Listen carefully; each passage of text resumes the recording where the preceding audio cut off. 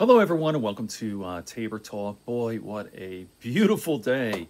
Uh, we really had an amazing summer here in the Catskills. So it's Saturday, September 12th. Yesterday was 9 11. Uh, okay, so getting right into this. Uh, so lately, I've been really on this Phil Donahue uh, kick. Uh, for the last couple month, a couple of months, I've been going on YouTube and looking for old Phil Donahue shows. I like to get the entire show. You know, it's kind of like a time capsule, the entire show, and with the commercials. So, Phil Donahue started his show 1967 in Ohio. He then went, I think it was in the 73, went to Chicago, and then finally in the, the mid 80s, I believe, he ended up and he went to New York. And his career, 29 years from 1967 to 1986. Now, check this out 7,000 shows. Try to imagine that. So on YouTube, there are only a few hundred, and they're really hard to find. So if you put in search Phil Donahue, full episodes, whatever, you only come up with a hundred or two. But I've been being very creative and trying to find these hidden gems. So I got to tell you, Phil Donahue, second to none. Oh my God, was he great? Holy shit. You think of what we have today in journalism and media. Like, he's like, like I listen to Joe Rogan. I love Joe, but boy, man, you're no Phil Donahue. Phil Donahue was just the best. I wish he was still around. By the way, I, I saw a, uh, a recent interview with him, well, a couple of years ago on MSNBC, and he was talking about Trump. I'll be doing a video about that. Had some pretty, pretty interesting things about our, our ridiculous president. He interviewed Trump three times on his show in the late 70s and a couple of times in 1983 and his last the last time I think it was 1988 and uh, I'll save that for another video. Okay, getting right into this, I have a clip here from 1980, I believe. Um, and his guest is Father Andrew Greeley, who was an American, very famous, world famous American Catholic Church who wrote many books. He was also a sociologist. Okay, what makes this amazing is I got to tell you, one of the best interviews I've ever seen. It's 30 minutes long, and he asks all the questions that I would ask, but perhaps in a in a much more eloquent way. Like, for example, celibacy. Why are Catholic priests celibate? Or this thing, like, why why the theology, this ology stuff? Like, who the hell are you to tell me how to live as if you have some special power? I've known guys who were, you know, very religious and they read the Bible who are these, uh, you know, like, hey, you should do this, you ought to do this. Like, who the hell are you? So, uh, without further ado, let me just get right into this. Phil Donahue with Father Andrew Greeley. And by the way, like Father Andrew Greeley, he died in 2013, by the way. I wrote a note here. Um, so watch this interview on the Catholic Ch Church and all the questions you'd like to ask. There we go. Of celibacy is cruel and unnecessary.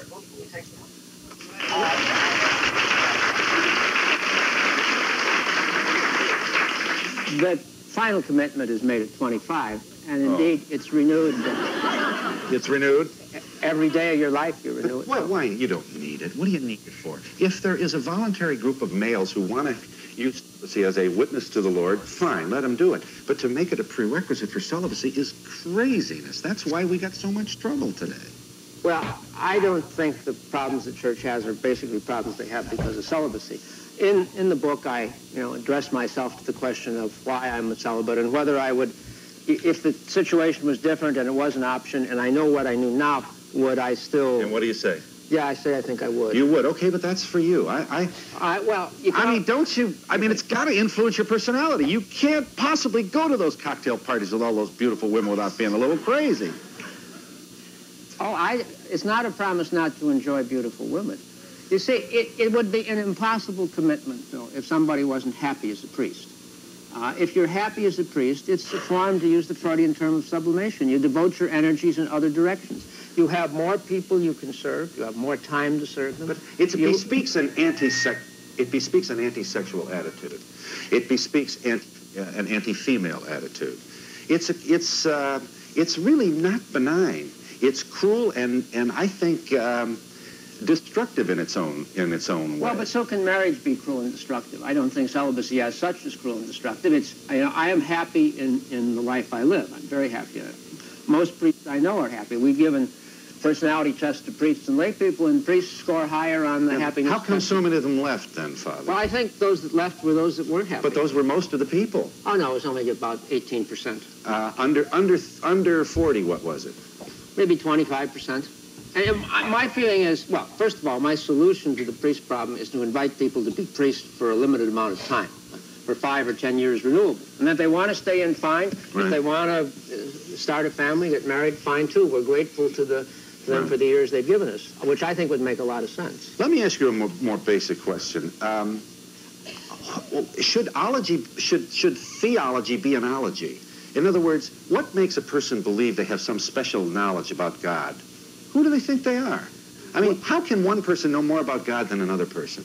I'm, I'm not a theologian. I'm a sociologist. But there are people out there who are claiming to Well, be all, theologians. all a theologian is, I think, is, is somebody who is a, a professor, an academic who scientifically studies theology. He, he may not know anything personally about God. His personal life But- and his, his uh, professorial life are very different. But the, the body of scholarship upon which he draws, or she, is the contributions of people who were similarly finite, who preceded him or her.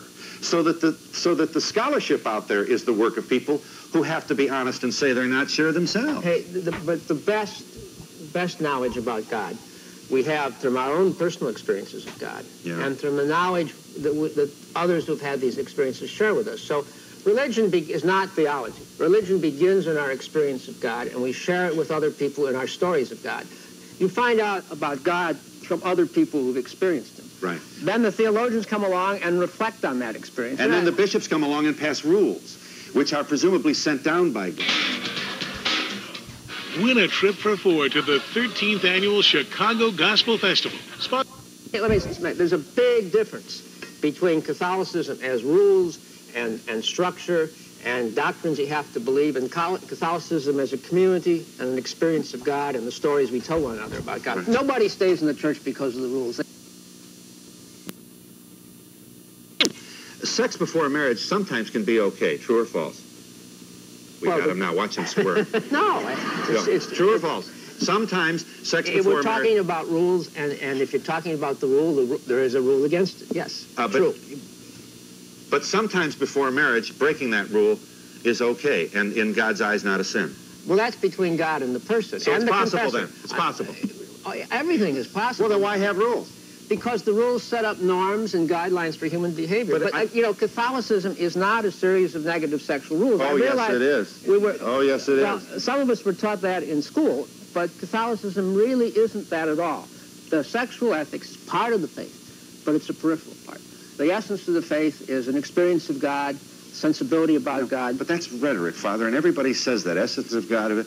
I think it's important, at least for people who are visible and influential, like yourself, to appreciate that out there are a lot, are millions and millions of Catholics who, who I think, in a very profound, faithful way, gave themselves to the church and now have been abandoned by that same church and in effect are listening to the liberal theologians out there saying you didn't believe all that stuff did you and they did believe it and the legacy is still there and i think that that's a witness which is going unaddressed by the by the by the people today who go on television and talk about these. All I can say is I'm a sociologist, and I've studied the reactions of the American Catholic population to the changes since the Vatican Council. They're overwhelmingly enthusiastic about it. Sure, people like you and I and other older folk. Less than 50% of Catholics go to Mass every Sunday. Where is this overwhelming Yeah, but, enthusiasm? but over two-thirds of them go every once, at least once a month. Most Catholics don't uh, once a month. Well, that means they're in church. The number of people And most of never- those are women. The women, it's like Latin No. America. The women go no, to church. that's not true. The men, men, women are a little more likely than men in the United States, but not much more likely. Uh, most uh, Catholics don't agree with it. Certainly practice birth control if, they, if that's their choice and they're in the Yeah, childbearing I'm, I'm the one that's done the research. Yes, yeah, all right. 90% of All them. right, so what then? What? Where is the church then? The church. The we church- aren't listening to the I mean, Pope. There's two ways of looking at the church. One is the institutional leadership, and that's important. The other is the community of the faithful, and that's important too. We have a breakdown in communication between the faithful and, Yes, and the we do. leadership. Yes, we do. Major Major problem. Well, this is this is what uh, I assume you don't you support most of what Father Curran says? I th- I'm not a theologian. I can't evaluate what he says theologically. Come on, you you can. Uh, that- Uh, but let- let me, let me, let me, let me- finish, let me finish. All right. But I think the way he's been treated has been shabby. I mean, the same people have been judge, jury, and executioner. And what they've done is taken an unknown, even by the Vatican's own principles, what they've done is counterproductive. They've taken an unknown theologian and made him a folk hero. Because everybody in America supports him. Catholics who are divorced should be able to remarry. And and you have to go through the expensive annulment process. Can't we get you to condemn that?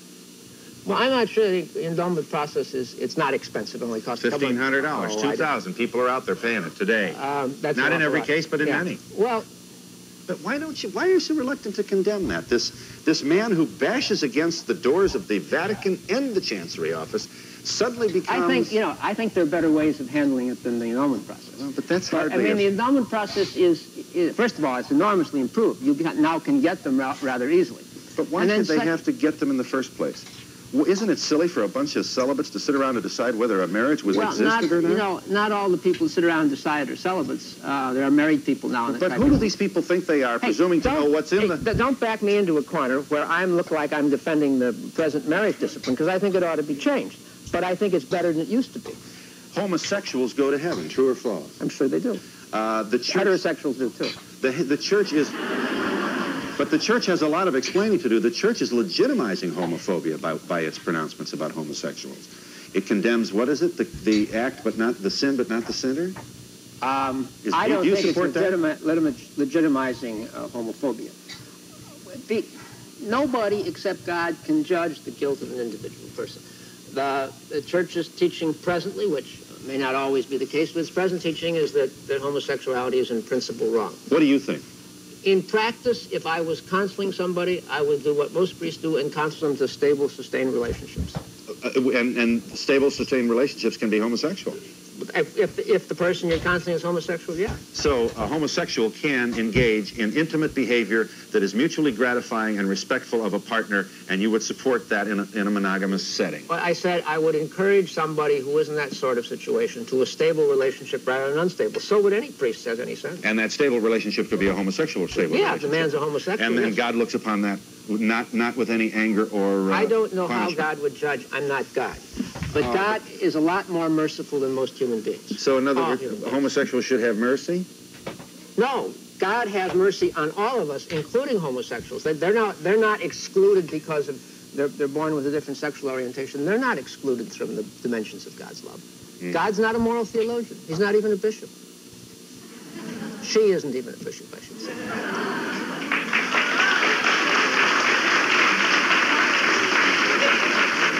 Actually, she's Irish. And- But and- that, uh, but that is not uh, what uh, th- that is not the legacy of Catholic theology. The legacy of Catholic theology is that God is a moral theologian, and He's watching every move. And you better shape up, or you That- you don't know trouble until you get in trouble with God, God. God is the great accountant in the sky now with his own PC. Right. Right. Well, some of us were raised that way. I just have to say that was a terrible distortion of the Catholic tradition. And there, you know, I wasn't particularly raised that way. But Chicago may have been, been different than a lot of other places in the country. Uh, but the Catholicism, God isn't a moral theologian. Catholicism isn't a rule. Uh, the Cardinal of uh, Chicago, Cardinal Bernardin, won't take your million bucks. You imagine that?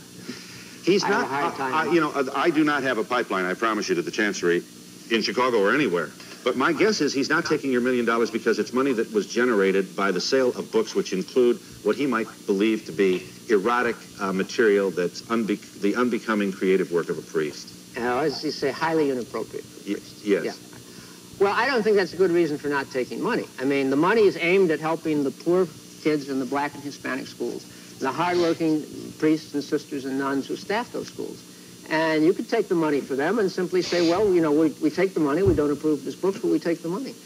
Uh, the, I think the reason that wasn't said, if indeed the books are his problem, was that that would, would offend and anger the people that read the books and don't think they're that way at all. And the overwhelming majority of the readers don't think they're steamy, don't think they're... You also you're also suggesting that the Archdiocese of Chicago has accepted money from uh, a lot of evil people. Oh, I said the church has taken, not Union- just the from, archdiocese, but, from union busters. uh, well, I said the whole church has taken Yeah. money from all kinds of different people. I, I may be a historical person. I may be the first one who's offered the church money and they turned it down. I don't want to go down in history for that, but I mean, I think I'm probably the first one that's done it. It's an interesting experience. The uh, book is titled Confessions of a Parish Priest. Its author is Andrew Greeley. We'll let this audience in on this, and we'll be back in just a moment.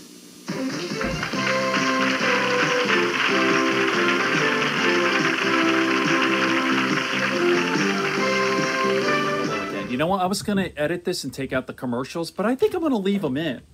Um, the commercials from 1980, really interesting.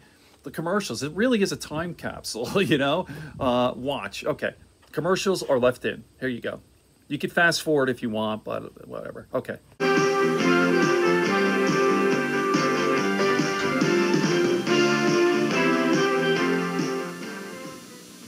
If you have a drinking problem, you probably have a disease, a progressive disease that weakens the structure of the family, that undermines the love that's the foundation of the family, that can tear the family apart and destroy everything you built together.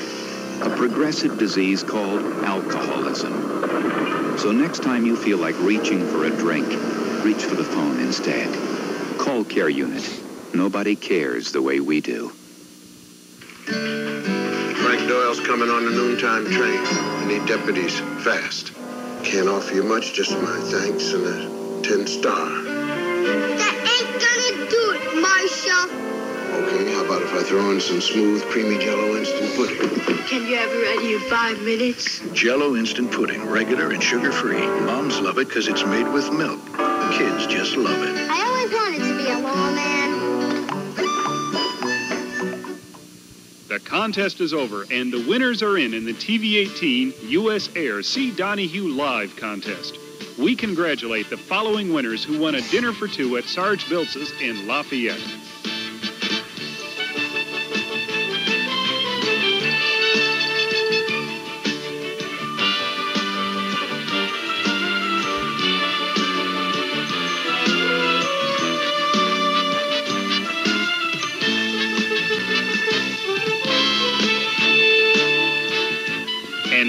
Present the grand prize winner. It is Deborah Faye McClure of Wolcott, Indiana. I seen the contest on the Donahue show, but I never thought I would win. Deborah wins a trip for two on U.S. Air nonstop to New York City to see the Donahue show live. We've never been on a plane trip before, and it'll be a lot of fun to go on U.S. Air to New York. TV 18 and U.S. Air thank everyone who entered the See Donahue Live contest.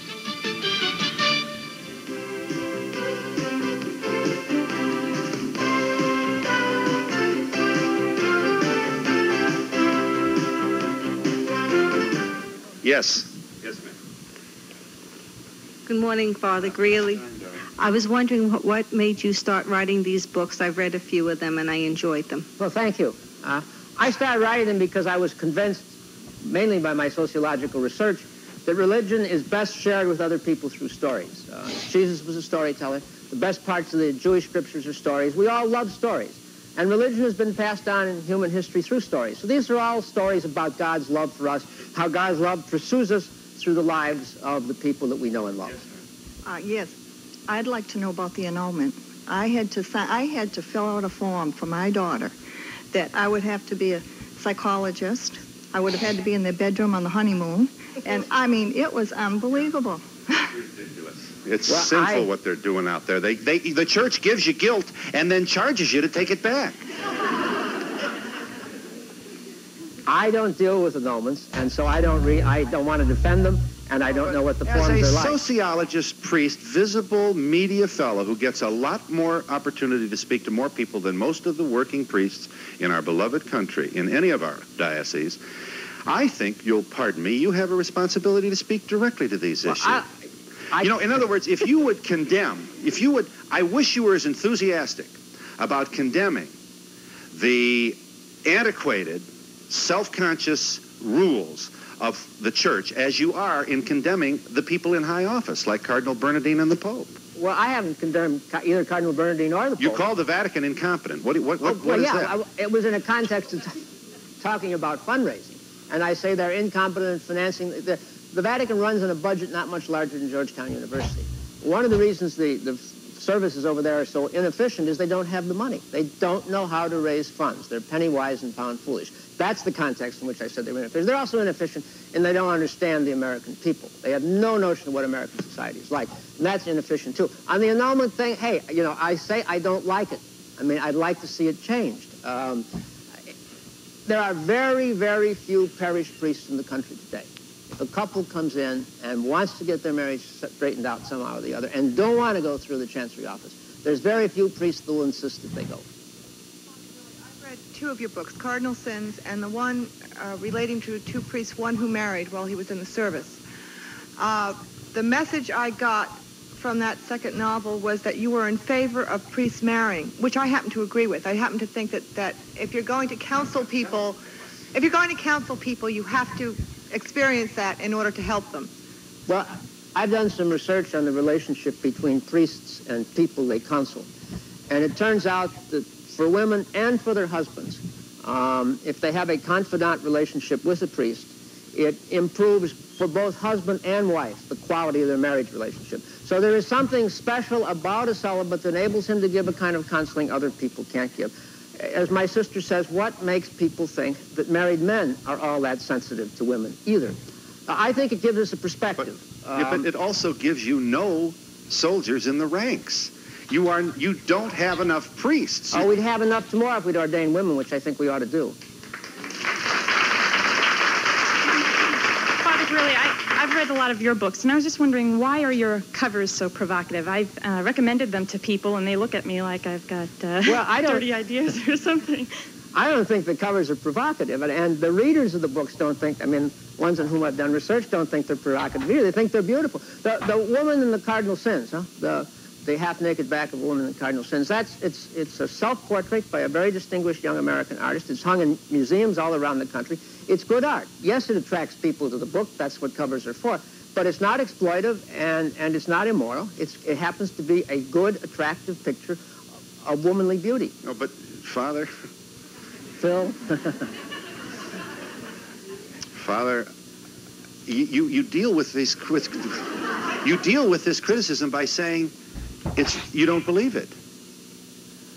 I don't believe. Uh, you know, if father, if father, your books are prurient and the and the covers are erotic and not becoming. No, they're not. Next question. Well, I don't think they are. I mean, what more can I say? I, I don't think the cover of the Cardinal Sins, for example, yeah, it's erotic. I'll admit it's erotic. Life is erotic. I don't think it's pornographic or suggestive or inappropriate. I wonder how many priests, because of having to um, engage in celibacy, instead resort to other methods such as homosexuality amongst priests. What do you think?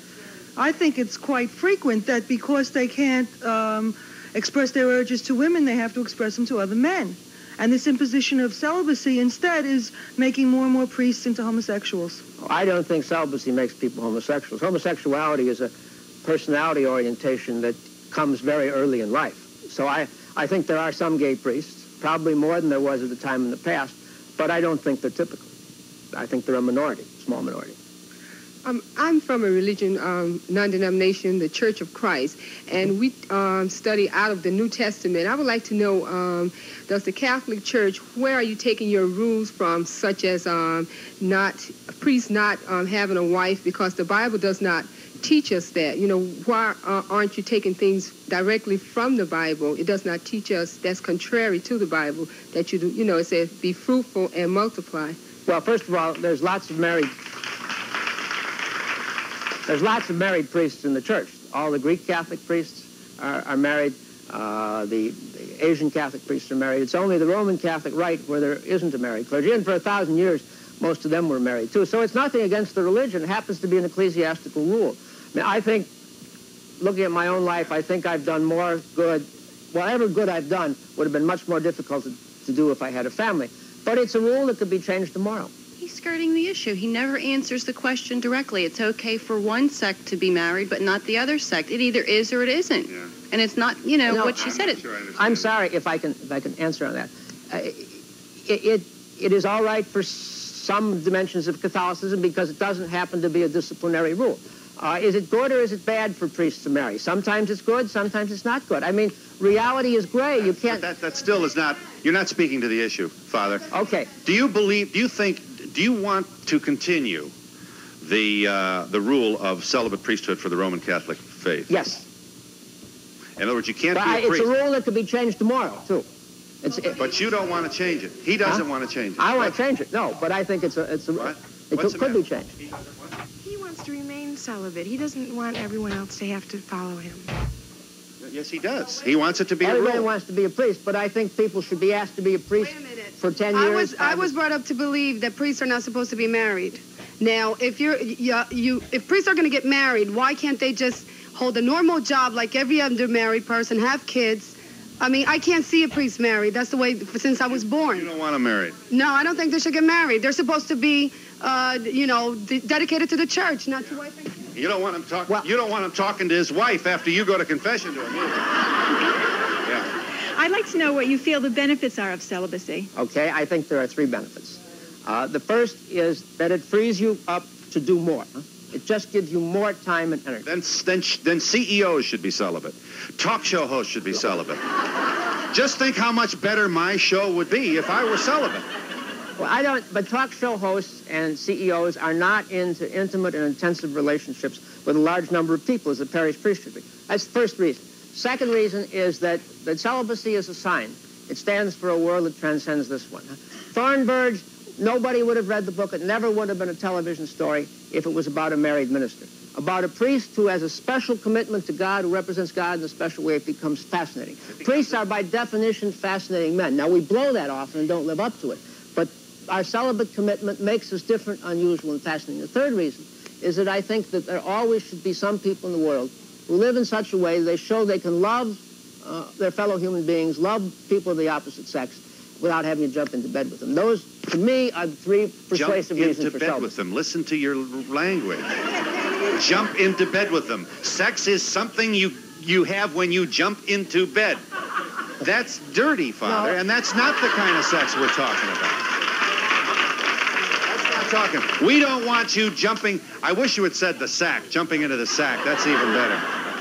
We would, some, some Catholics would pray for the day that a priest might, if it be his choice, enjoy the wonderful experience of mutually satisfying intimacy with the person that he loves. You can't believe how neat it, and wonderful it can be. Oh. It'll make you a better person. I can It'll make- believe it. It'd be very neat and wonderful, so I don't have any doubt about that. My stories are often about that. But but it doesn't follow that that, that because a person doesn't do that, he is he's ceases to be a human being. On the contrary, the, all the evidence that we have uh, from the research is that the Catholic lay people value the, the celibate priest as a counselor, as a consultant. Now, half the Catholic laity would also accept uh, married priests. So my, my present position, wanting women to be ordained, but wanting priests to continue to be celibate, that, that's a minority opinion in Catholicism now. Father, you believe in celibacy. Yeah. I believe in God. I would like just like in to know how do you get such wonderful books written and so explicit without experience? Yeah. I guess well- I have a good imagination. Very good imagining. I Thank you. love your books, sir. God bless you. You heard what she said, Phil? She said she loved my book. You heard that? Uh-huh. I love your books too, but the most disquieting thing I have ever run across was a priest that I met about 15 years ago who was dating a Protestant woman and told me it was okay because she wasn't Catholic. And that bothered me. yeah, I, it would bother me too. I mean, it's, And we'll be back in just a moment.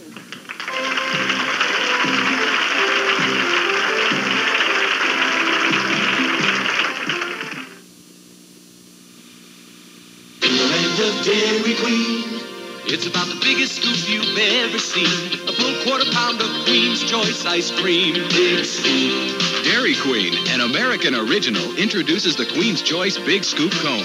A full quarter pound, hand dipped, only 49 cents. Flavored with a Heath or Butterfinger bar, the list goes on. Just 49 cents. It's about the biggest scoop you've ever seen. The quarter pound big scoop at Dairy Queen. An American original. We treat you right. Is where the heart is, especially when you're sick. Convacare rents and sells hospital equipment to use in your home, and while you're recovering, Convacare files your insurance claim promptly and accurately. They know Medicare and they want you to receive all the benefits you have coming under your insurance program. Because home is where the heart is, rent or buy hospital equipment from one of these Convacare centers. Wells Jaeger Best in Lafayette, Dexter Pharmacy in Logansport, Denny's Pharmacy in Fowler, Goodland, and Otterbein. Bill DeFouw says, listen. Listen to the heartbeat of America. Listen to the heartbeat, heartbeat of America. See what's new for 87. Economy cars, performance cars, luxury cars, trucks, vans.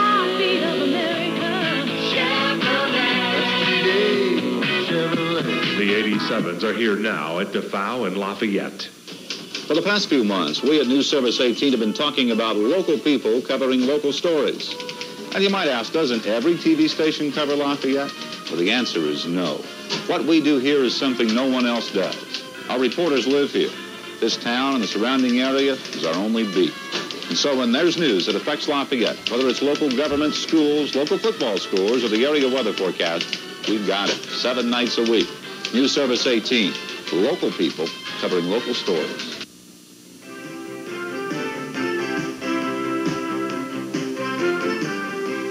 I assume you think it's okay to practice birth control and still be a good Catholic.